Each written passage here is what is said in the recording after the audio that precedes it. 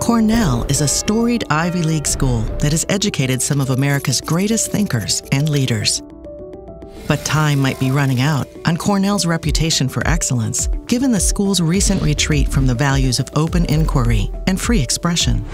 Students, faculty, and alumni say the school is suffering from a monoculture in which dissenting voices are rare and unwelcome.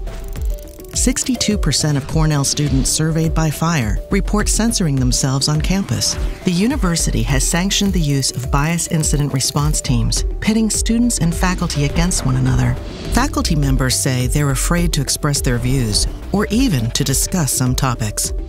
In 2019, a student debate forum withdrew the invitation of a pro life speaker, stating concerns about having to pay high security costs to protect against anticipated protesters. In 2020, Cornell law professor William Jacobson wrote two blog posts critiquing aspects of the history and leadership of the Black Lives Matter movement.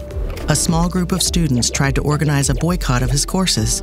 Some alumni called for him to be fired, and other faculty members denounced him. Now, the university is looking for ways to train students, faculty, and staff in the reigning campus orthodoxy.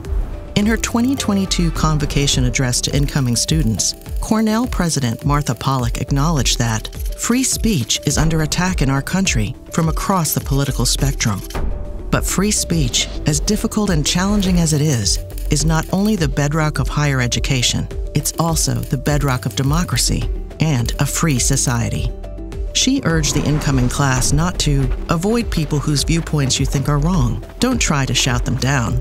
Hear them out. Ask them questions. Yet, only a few months later, Cornell students participated in an organized shoutdown that forced invited speaker and Cornell alumna Ann Coulter to leave the podium and the event to be canceled.